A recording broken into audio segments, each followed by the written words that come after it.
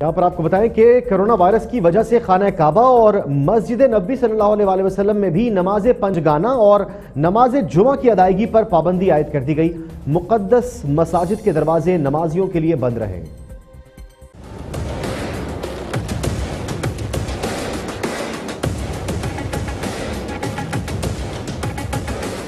سعودی عرب میں corona virus کی وجہ سے ملک بھر کی مساجد کے بعد اب مسجد حرام اور مسجد نبی صلی اللہ علیہ وآلہ وسلم کے اندرونی اور بیرونی حصے میں بھی نماز پنجگانہ اور نماز جمعہ کی ادائیگی پر پابندی عائد کر دی گئی ہے۔ سعودی حکام نے مکہ مکرمہ میں خانہ کعبہ اور مدینہ منورہ میں مسجد نبی صلی اللہ علیہ وآلہ وسلم نے باجماعت نماز پر پابندی عائد کر دی۔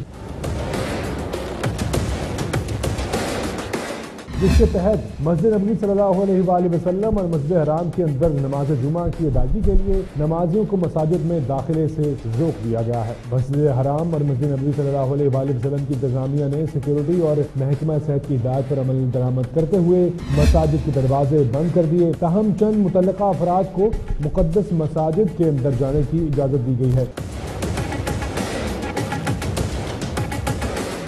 مسجد حرام کے بیرونی حصے میں موجود اسکوائر میں بھی نمازوں کی موجودگی پر پابندی عائد کر دی گئی ہے۔ اس سے قبل رواں ہفتے کے آغاز پر سعودی عرب نے مسجد حرام اور مسجد نبی صلی اللہ علیہ وآلہ وسلم کے علاوہ دیگر تمام مساجد پر باجماعت نماز پر پابندی عائد کر دی تھی۔ تاہم، مساجد سے اذانیں دی جا رہی تھی لیکن اب مسجد حرام اور مسجد نبی صلی اللہ علیہ وآلہ وسلم میں پابندی عائد کر دی گئی ہے۔